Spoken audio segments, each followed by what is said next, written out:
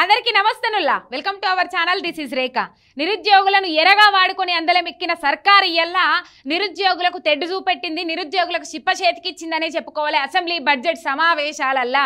ఏమన్నారు? అధికారంలోకి రాకముందు కేసీఆర్ ప్రభుత్వం నోటిఫికేషన్ లేదు కేసీ కేసీఆర్ ప్రభుత్వం ఉద్యోగాలు ఇవ్వలేదు కేసీఆర్ ప్రభుత్వం ఒక్క ఉద్యోగం కల్పించిన పాపాన పోలేదు నిరుద్యోగుల పొట్ట కొట్టిండ్రు ప్రభుత్వ ఉద్యోగులను మోసం చేసిండ్రని ఇయ్యలడికి అసెంబ్లీ సమావేశాలలో మాట్లాడుతూ ఉన్నారు.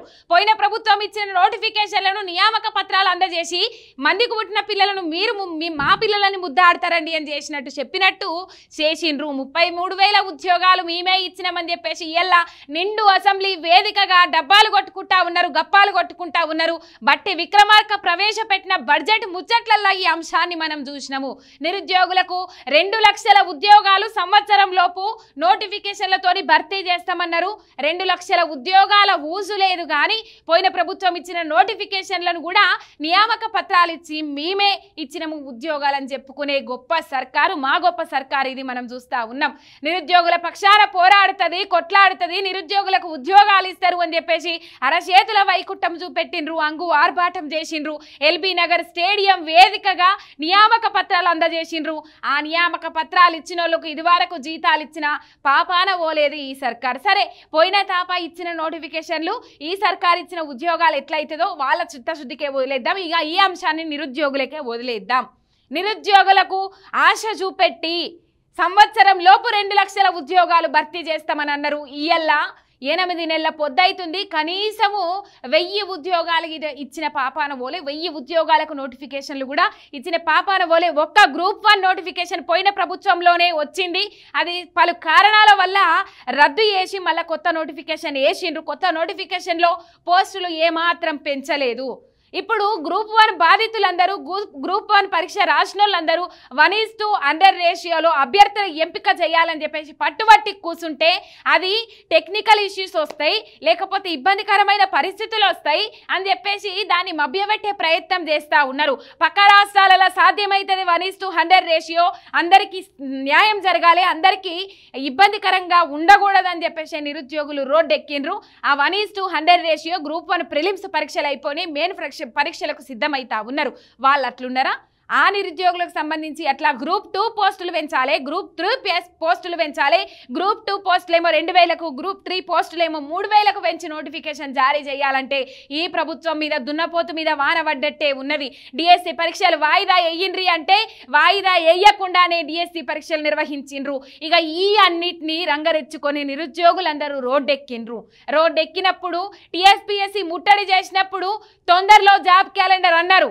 అశోక్ నగర్లో పెద్ద ఎత్తున ధర్నా చేపట్టినప్పుడు బడ్జెట్ సమావేశాలల్లా ఈ అసెంబ్లీ సమావేశాలలో జాబ్ క్యాలెండర్ ప్రస్తావన తీసుకొస్తాం. జాబ్ క్యాలెండర్ అసెంబ్లీ వేదికగా ప్రకటిస్తామని చెప్పేసి ఊదరగొట్టిండ్రు బాకాలు ఊదినిండ్రు ఈ గౌరవ సర్కారుళ్ళు మరి అంతగానో గౌరవించబుద్ధి అవుతుంది ఎందుకంటే నిరుద్యోగులకు మొండి చేయి చూపెట్టిన విధానాన్ని బట్టి ఈ నిరుద్యోగులకు శుభాకాంక్షలు తెలియజేస్తున్నా. ఎందుకంటే ఆ సర్కార్ని కాంగ్రెస్ విధానం ఎరుకున్నప్పటికీ కూడా నెత్తి మీద ఎత్తుకొని ఇలా అందలం ఎక్కిచ్చారు కాబట్టి ఈ సందర్భంగా అసెంబ్లీ సమావేశాల సందర్భంగా జాబ్ క్యాలెండర్ ప్రస్తావన తీయనందుకు ప్రస్తావన లేనందుకు నిరుద్యోగులందరికీ శుభాకాంక్షలు చెప్తాన్నా. ఎందుకంటే బాగా నమ్మిండ్రు. నమ్మి ఇలా మోసపోయిండ్రు.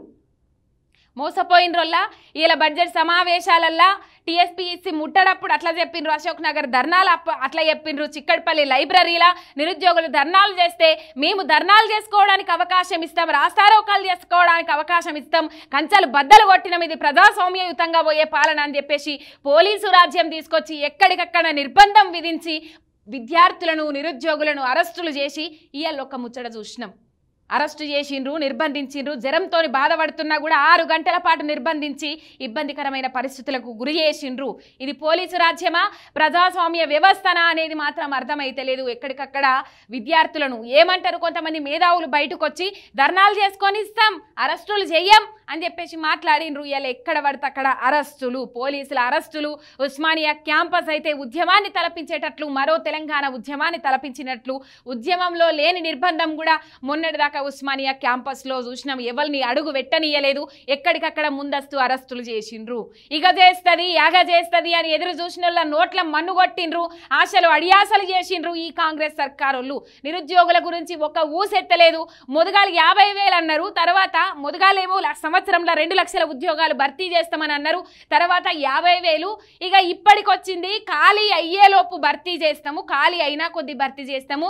ఇయ్యాల అసెంబ్లీలో మాట్లాడిన ముచ్చట ఏంటంటే త్వరలో జాబ్ క్యాలెండర్ ప్రకటిస్తాము. అయిపోయిందా?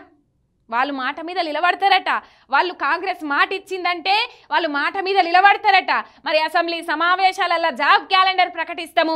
రెండు లక్షల ఉద్యోగాలతో జాబ్ క్యాలెండర్ ప్రకటిస్తామన్నోళ్ళు ఇలా జాబ్ క్యాలెండర్ గురించి కానీ నిరుద్యోగుల గురించి కానీ మాట్లాడలేరు. పోయిన ప్రభుత్వం నోటిఫికేషన్లు వేసిన దాన్ని ఇలా నియామక పత్రాలు అందించినము ఉద్యోగాలు ఇచ్చినామని చెప్పేసి మాట్లాడుతూ ఉన్నారు. నోటిఫికేషన్కు నోటిఫికేషన్స్కు నియామక పత్రాలకు తేడా తెనవలోళ్ళు ఇలా అసెంబ్లీలో ఉన్నారు. ఆల్రెడీ కేసీ కేసీఆర్ ఎద్దేవా చేసిర్రు ఒక పాఠం చెప్పినట్టు ఒక స్టోరీ చెప్పినట్టు ఉన్నది అలా గ్యాస్ తప్ప ఏమీ లేదు. అటు పోతే పరిశ్రమలకు సంబంధించి కొన్ని శాఖలకు సంబంధించి పాలసీలు వ్యవసాయ రంగానికి సంబంధించి ఐటీ రంగానికి సంబంధించి కొన్ని పాలసీలు ఉంటాయి వృత్తిరీత్యా అందరికీ దోకా చేసిండ్రు. మత్స్యకారులకు అన్యాయం చేసినని మాట్లాడిండ్రు కేసీఆర్. మొత్తం మీద ఇదొల్లా నిరుద్యోగులకు చిప్ప చేతికే ఇచ్చిండ్రు. ఇంకా పోయిన ప్రభుత్వం అన్నా ఎక్కడ దేశంలో ఏ రాష్ట్ర ప్రభుత్వం ఈయనని ఉద్యోగాలు భర్తీ చేసింది అది వాళ్ళ అధికారంలోకి వెళ్ళి దిగిపోయినాక ఆ ముచ్చట బయటకు వచ్చింది ఇరవై నుంచి ముప్పై లక్షల ఉద్యోగాలు వేరే వేరే ప్రైవేట్ సెక్టార్లలో ప్రైవేట్ రంగాలలో కల్పించిండ్రు. మొత్తం మీద లక్ష అరవై రెండు వేల పైసలకు ఉద్యోగాలు ఇచ్చింది పోయిన ప్రభుత్వం.